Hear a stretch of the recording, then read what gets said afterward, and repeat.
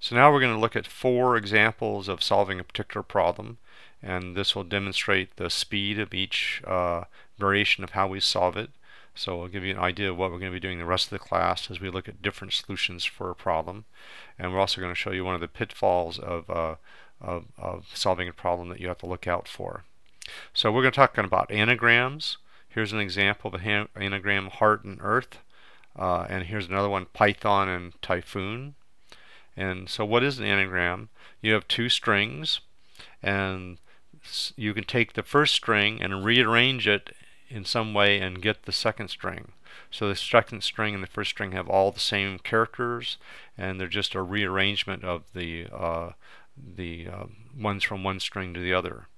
Uh, the strings don't have to be actual English words, but usually when you're solving puzzles, you'll give you'll be given two words. So technically, that's an anagram. So we're going to look at different approaches and look at what uh, how much it costs us to do each approach. So the first solution he calls checking off, and the idea is that we have two strings. So we're going to uh, look at the letter H in the second string and check off if we find it. So when we find it, we're going to check it off, and we're going to check it off by replacing the H with a none. Now we can't do that in a string because it's immutable, meaning we can't modify anything in the string. So what we're going to do is convert these from strings to list, and lists are not immutable, so we can actually replace the H in the list with none.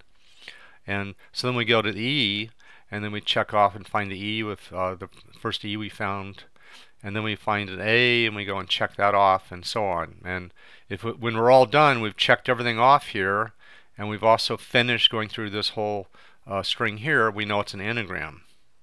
Now we're going to show you two versions, the version the book author did and the version I've done. I've tried to simplify some things, a little easier code to understand. And we're going to take uh, some advantages of things. First of all, if these two strings are not equal, they automatically are not anagrams. So that's what something we can test immediately and just return if we find that they're not equal. Uh, so let's go ahead and see the author solution. And uh, let me go back and do, so what you're going to do is you're going to pick the H, and then for this H, you're going to go looking through this string. And then you're going to pick the E, and for the E, you're going to be looking through the string. So you can see that we're going to have a loop that's going to loop through the first string one at a time, and then an inner loop so that when the first string is on the H, it'll start looping through all the letters of the second string. So that's basically what he does here. So he had he, all of these are going to define an anagram solution with two strings. So this is where it converts a string to a list. And this is going to be useful to remember how to do. Anything that's a string you can convert to a list of individual characters. Um, so he's going to use some variables to keep track of where he is in each list. So position 1 will point to where we are in the uh, S1 list, and position 2 will point where we are in the uh, S2 or the A list. Now we only have to add none to the A list, so we don't have to uh, convert S1 to a list. And then we have a flag that says it's still okay, which means we're still looking for an anagram. And so while position 1 in the first string is less than the length of the string and still okay, they're going to reset the pointer position uh, 2 in the second string to 0, set found to false. We have another flag we're going to set when we actually find it. And then while position 2, pointing to the second string, is less than the length of that list and not found, we're going to check is the uh, is the string at position 1 equal to the list at position 2. And if it is, we want to uh, set found to true. And when we set found to true, it's going to go back up to the while, and that will cause the loop to terminate early. If it's not equal, then we increment uh, position 2 and look at the next character in the list to see if, if the what we're looking for from the first list is in the second position and so on. So this will loop through looking at the second list. Uh, and here's the outer loop which is looping through the first uh, string. So now once we've gone through all the way through the list we check found. If we never found what we're looking for uh, then we well, if we did find what we're looking for, we set the position of where we found it to none. So that's going to mark it or check it off. If we never found it, we set still okay to false. That means we went through uh, this whole list and we never found a particular character. That means it can't be an anagram. So still okay set to false, it's going to cause this outer loop to quit. Uh, and then finally we increment the outer loop, we increment the pointer to where we are in the first string by 1 and repeat the outer loop. Uh, if the outer loop still okay becomes false or we've run out of string to check, we exit the outer loop and we return still okay. And that's going to return true or false if it's an anagram. Uh, here's a, the way I wrote it. So I'm going to anagram 1. So the way I wrote it, first I check if the length of the two strings are not equal, and if it is, I return false. And then I set n equal to, to the length of the first string, and then I make a new list. I call it S2 list, so it's S2 as a list. And then for each character in S1, then for each i in the range of the length of S2, so i will be an index into the second uh, list. Excuse me. So if the character from the first uh, string is equal to the ith position of the second list, then we mark it off. And then we uh, decrement n by 1. So n is keeping track of, uh, it started out with the length of the second string, and so every time we subtract it, we're marking off. If we marked off everything in the second string, we know we're done and we found an anagram. So that's going to be our flag we check uh, when we're all done. So we don't we don't actually have any flags.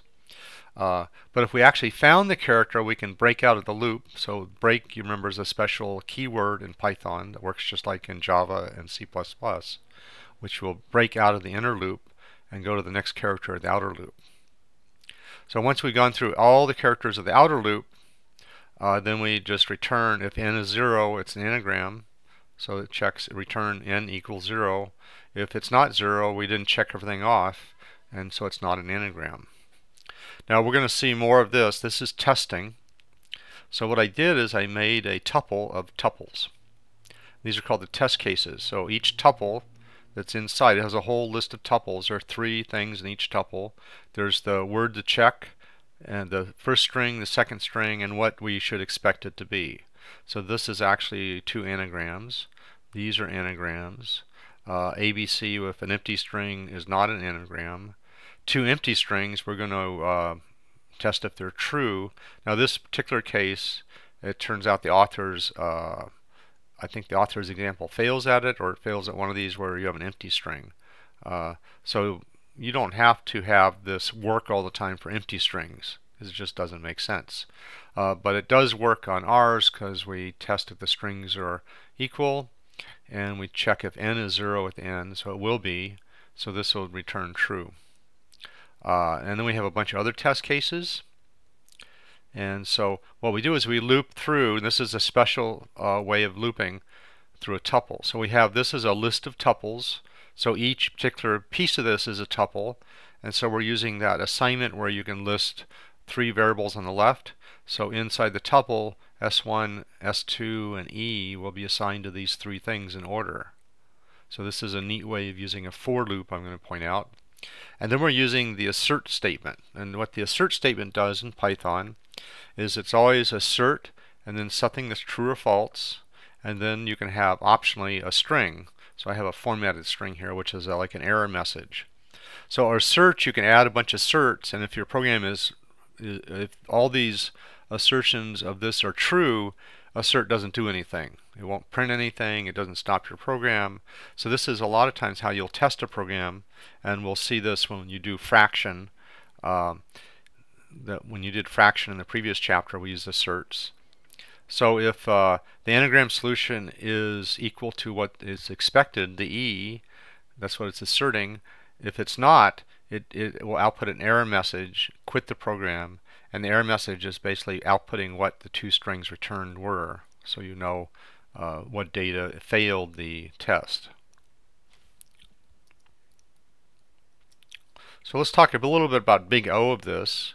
Because we're we're stepping through every character of the first string, and then we have another loop that is stepping sequentially through every character of the second string in a list. Uh, this is two nested for loops. This one's going from 1 to n, and this is going to 1 n, where the n is the size of the problem. So I put little notes here. This is if you counted how many assignments. There's one assignment here. There's one assignment to uh, make a new list. You could argue that's actually an n operation. Uh, then there's n squared, n squared assignment. Uh, this one's 0 to n. It depends on how far it checks, uh, how far it gets in the list. Then we have n squared here. And these are all n squared because they're inside of the nested loop. And then there's one assignment when we're all done. And I didn't even count that. So this, this I put a little notation as to what polynomial all of this adds up to. But the main thing you'll see is the biggest term, I use up caret for power of. So uh, we have, if we simplify this, it's 2n squared plus n plus 2. So the prompt be predominant term is n squared, so this is O of n squared.